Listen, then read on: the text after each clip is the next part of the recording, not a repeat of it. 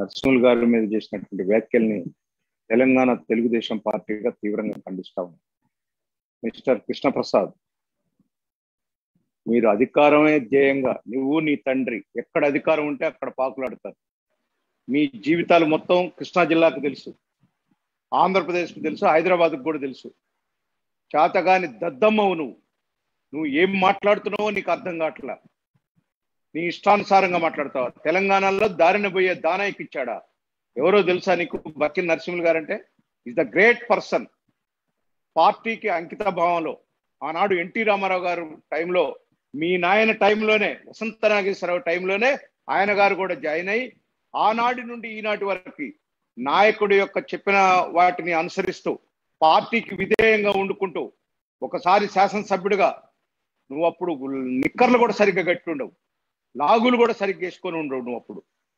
ఒకనాడు శాసనసభ్యుడిగా ఆ తర్వాత తిరుమల తిరుపతి దేవస్థానం బోర్డు మెంబర్గా చేసినటువంటి వ్యక్తి.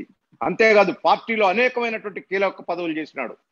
జిల్లా పార్టీ అధ్యక్షునిగా రాష్ట్ర ఎస్ఎస్ఎల్ అధ్యక్షునిగా ఈనాడు జాతీయ పార్టీ రెండు రాష్ట్రాలకు సంబంధించినటువంటి ప్రధాన కార్యదర్శిగా ఉన్నటువంటి వ్యక్తి ఒక senior most leader NT Ramarao గారితో పాటు పార్టీలో జాయిన్ అయినటువంటి వ్యక్తి అలాంటి వ్యక్తిని చూసి ఒక దళిత కుటుంబానికి చెందినటువంటి వ్యక్తిని ఇవాళ తెలంగాణ రాష్ట్రానికి అధ్యక్షుడిగా చేస్తే నువ్వు కించపరిచే విధంగా మాట్లాడతావా? నీకు అహంకారమా? అధికార మతమా నీకు? నీ అధికార మతం దిగుతుంది తొందరగానే దిగుతుంది. నువ్వు ఇక్కడ హైదరాబాద్ వచ్చి మాట్లాడు. అక్కడ విజయవాడలో కూర్చొని మాట్లాడటం కాదు. నీకు దమ్ము ధైర్యం ఉంటే హైదరాబాద్ వచ్చి నడిబొడ్డున మాట్లాడు నువ్వు. నువ్వు చేసినటువంటి దురాఘాతాలు అక్కడ ఉన్నటువంటి మా పార్టీ నాయకుడు ఉమామహేశ్వరరావు గారు బయట పెట్టినందుకు ఈ కక్ష తీర్చుకోవడానికి ఇక్కడ హైదరాబాద్ లెవెల్లో కూడా నువ్వు మాట్లాడుతున్నావా? ఏం మాట్లాడతావు నువ్వు? నీ నీ వైఎస్ఆర్సీపీ పార్టీ ఇక్కడ తెలంగాణలో ఎక్కడుంది? ఎప్పుడో సాప చుట్టేసినావు. కానీ మేము ఇవాళ తెలుగుదేశం పార్టీ తెలంగాణ శాఖగా గత ఏడు సంవత్సరాలుగా ప్రజల పక్షాన పోరాడుతున్నాం. ప్రజా సమస్యలు పోరాడుతున్నాం. నీకు పార్టీ లోకు అయిపోయిందా బిడ్డ నువ్వు తెలుగుదేశం పార్టీ ఇంకొకసారి ఇంకొక మాట అన్నావంటే హైదరాబాద్ నగరంలో నిన్ను తిరగనిచ్చే సమస్య లేదు. నువ్వు నువ్వు ఒక దొంగవాయా నువ్వు? నీ మీద ఈడీ కేసు కూడా ఉంది. నీ వ్యక్తిత్వం ఏందో చూసుకో. ఎవరిని పడితే వాళ్ళని ఇష్టానుసారంగా నోరుందని మాట్లాడతావా? ఇది లాస్ట్ అండ్ ఫైనల్ వార్నింగ్ ఒక దళిత కుటుంబానికి చెందినటువంటి మంచి మనిషి ఒక మానవత్వం ఉన్నటువంటి మనిషి బక్కిరి నరసింహులు గారు. ఆయన మేము ఇలా పార్టీ అధినేతగా చేసుకుంటే ఇలా తెలంగాణలో ఉన్నటువంటి దళిత కుటుంబాలన్నీ కూడా బాధపడుతున్నాయి. అందరు కూడా నిన్ను నిన్ను ఇలా శాపనార్థాలు పెడుతున్నారు. నీ ఇష్టానుసారంగా నోరుందని మాట్లాడతావా? జాగ్రత్త కృష్ణప్రసాద్. నువ్వు హైదరాబాద్ నడుబట్టుకురా నీ సంగతి చూస్తాం. ఏం మాట్లా ఏమనుకుంటున్నావు? అధికార అహంకారంతో. ఎక్కడ అధికారం ఉంటే అక్కడ నీ తండ్రి నువ్వు పోయి కాళ్ళు కాళ్ళ మీద పడేటువంటి వ్యవస్థ మీది. మీలాంటి వాళ్ళు తెలుగుదేశం పార్టీ గురించి తెలుగుదేశం పార్టీ లీడర్ల గురించి మాట్లాడతారా? ఇవాళ నువ్వు చేసిన బాగోతం నిన్న మా వాళ్ళంతా బయట పెట్టారు. దానికి ఆన్సర్ చెప్పు నీకు. నీ సిగ్గు శరం ఉంటే మా వాళ్ళు మా పటాభి మాట్లాడిన దానికి కానీ మా దేవినేని ఉమా గారు మాట్లాడిన దానికి కానీ మా వాళ్ళు మాట్లాడిన దానికి కానీ ప్రతిదానికి ఆన్సర్ చెప్పు.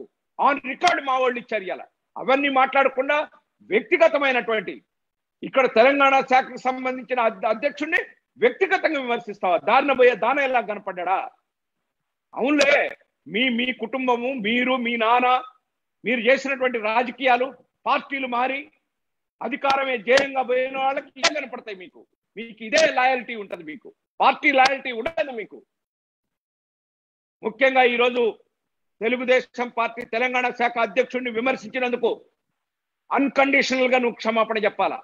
లేకపోతే నిన్న హైదరాబాద్లో మా దళిత సంఘాల నాయకులు తెలుగుదేశం పార్టీ నాయకులు యూత్ అందరం కూడా అడ్డుకుంటాం ఇవాళ. అన్ని సంఘాలు కూడా అడ్డుకోవటానికి సిద్ధంగా ఉన్నాయి. నువ్వు ఆ హైదరాబాద్ వచ్చే ముందు ఖచ్చితంగా నర్సింహులు గారికి క్షమాపణ చెప్పి హైదరాబాద్ రావాలి బిడ్డ. నువ్వు హైదరాబాద్లో కనపడితే నిన్ను గెరావ్ చేసేది గ్యారంటీ. ఇంత అహంకారంతో మాట్లాడకూడదు ఎప్పుడైనా సరే. రాజకీయాల్లో ఉన్నప్పుడు ఎజెండాల మీద మాట్లాడు. వ్యక్తిగతమైనటువంటి విషయాలు మాట్లాడకూడదు. నిన్న మొన్న మీ ప్రెస్ చూస్తున్నాం. ఇష్టానుసారంగా మాట్లాడుతున్నారు నోరుంది అధికారం ఉందని. అధికారం శాశ్వతం కాదు. అధికారం ఒక్కోసారి ప్రజలు ఏదో నమ్మి పాపం మీకు ఇచ్చారు కానీ ఇలా మీరు ఆ రాష్ట్రాన్ని ఏం చేస్తున్నారో ప్రజానికానికి అందరికీ తెలుసు. కానీ రాబోయే రోజుల్లో ఖచ్చితంగా ఆంధ్రప్రదేశ్ ప్రజలు మీకు గుణపాఠం చెప్తారు. ఇటు తెలంగాణలో కూడా ఖచ్చితంగా వైసీపీ పార్టీకి సంబంధించిన ఎమ్మెల్యేలు ఇష్టానుసారంగా మాట్లాడుతున్నారు.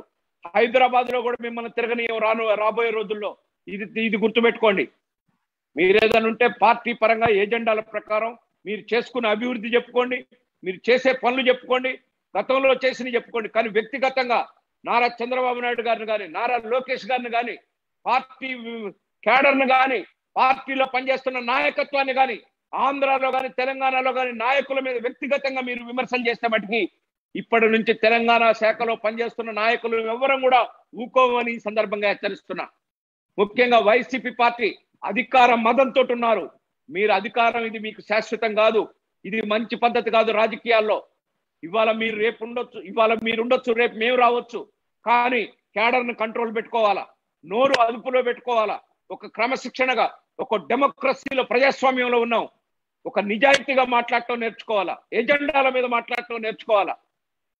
ఇవాళ తెలంగాణ తెలుగుదేశం పార్టీగా నీవు చేసినటువంటి కృష్ణప్రసాద్ నువ్వు చేసినటువంటి వ్యాఖ్యలను తీవ్రంగా ఖండిస్తున్నా నీవు ఇప్పటికైనా అన్కండిషనల్గా అపాలజీ చెప్పిన తర్వాతనే హైదరాబాద్ రావాలని చెప్తా ఉన్నా. హైదరాబాద్లో నువ్వు ఎక్కడున్నా సరే మా వాళ్ళు నిన్ను గెరావు చేయడానికి సిద్ధంగా ఉన్నారు. రేపు మా దళిత సంఘాలు కూడా నీ కోసం బయలుదేరుతున్నాయి. జాగ్రత్త బిడ్డ. Thank you thank you one and all